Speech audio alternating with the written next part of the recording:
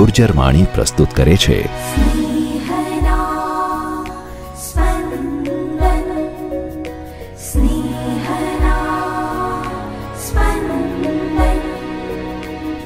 સામાન્યકાળના પાંચમા અઠવાડિયાનો સોમવાર.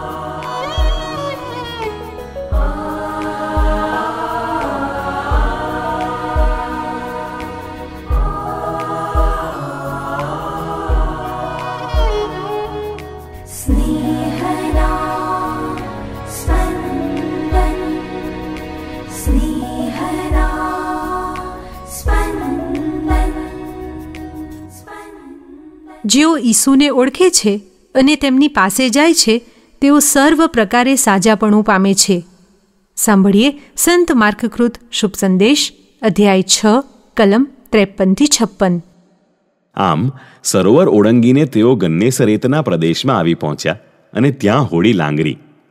તેઓ હોડીમાંથી બહાર આવ્યા કે તરત જ લોકોએ ઈસુને ઓળખી કાઢ્યા અને તેઓ ઉતાવળા ઉતાવળા આખા પ્રદેશમાં ફરી વળ્યા અને માંદા માણસોને ડોળીઓમાં ઘાલીને જ્યાં જ્યાં ઈસુ છે એવી ખબર મળતી ત્યાં ત્યાં લઈ જવા લાગ્યા.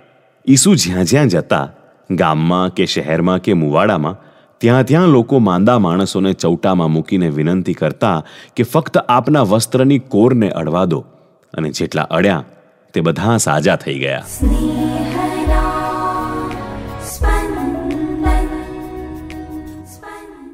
આ લોકો ઈસુને માંદા લોકો પાસે લઈ જવાને બદલે માંદા લોકોને ઈસુ જ્યાં હોય ત્યાં લઈ આવે છે. આનો ભાવાર્થ એ થયો કે માંદા તો આપણે છીએ. આ સાંભળતા થાય કે આપણા માટે વળી કઈ માંદગી? આજ તો આ કથનનો મર્મ છે. આપણામાં નિષ્ફળતાની હતાશા, નિરાશા, દ્વેષ, ઈર્ષ્યા, લાલચ, લોભ, ઘમંડ, જૂઠ, સ્વાર્થીપણું એ એવી અનેક માનવીય નબળાઈઓ છે જ. એ જ માનસિકતાની માંદગી. જેમ શારીરિક રોગીને પોતાના શરીરના રોગની ખબર નથી હોતી, તેમ આપણને ઉપર ગણાવ્યા તે રોગોની ખબર ક્યાં છે? નથી ને? માટે તો આપણે ઈસુના આવાસમાં, દેવળમાં આવીએ છીએ. તેમની બોધકથાઓ વાણીથી ઉપચાર તો ચાલે છે. આજના શાસ્ત્રપાઠનો આપણી માનસિક નબળાઈઓના માનવીય સંદર્ભમાં સતત મનન ચિંતન કરતા રહીશું, તો માનસિક રીતે સાજાપણા તરફ જઈશું.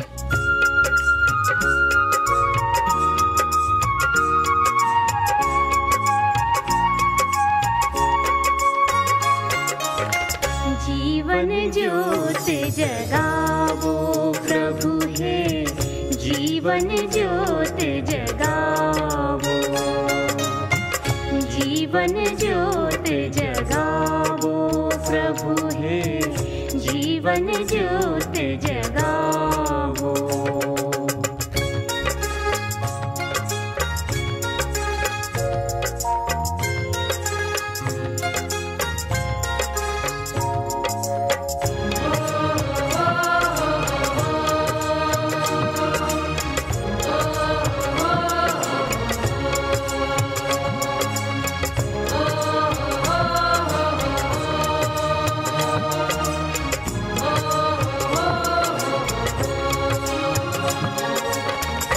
ટચુકડી આ આંગળીઓમાં જાજુ ચોર જમાવો. ટચુકડી આ આંગળીઓમાં જાજુ ચોર જમાવો.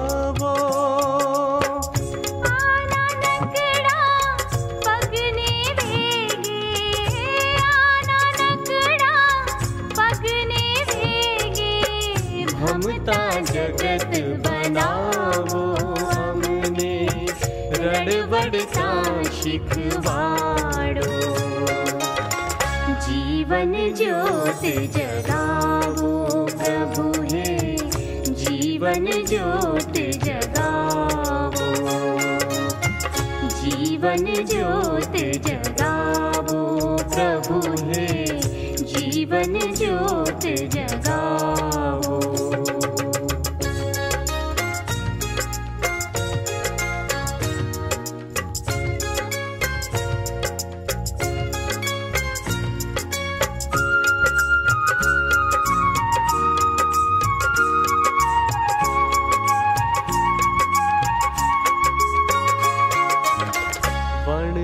वे अंधारे जो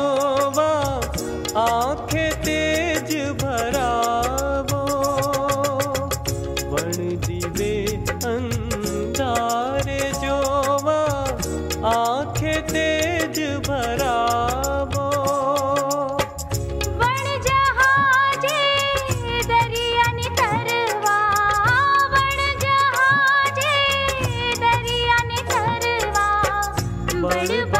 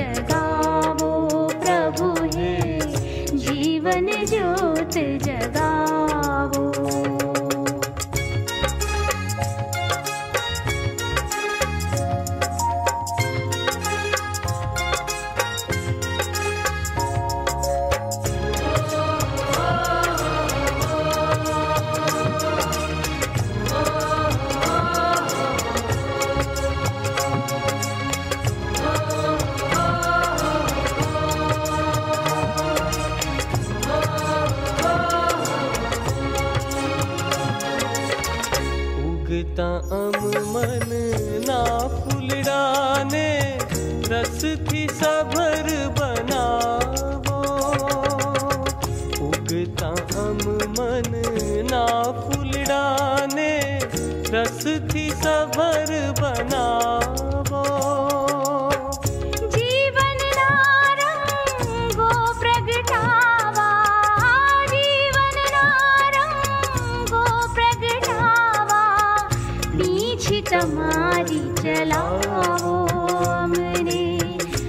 मख सावा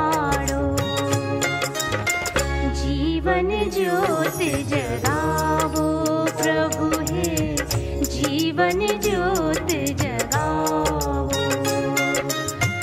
जीवन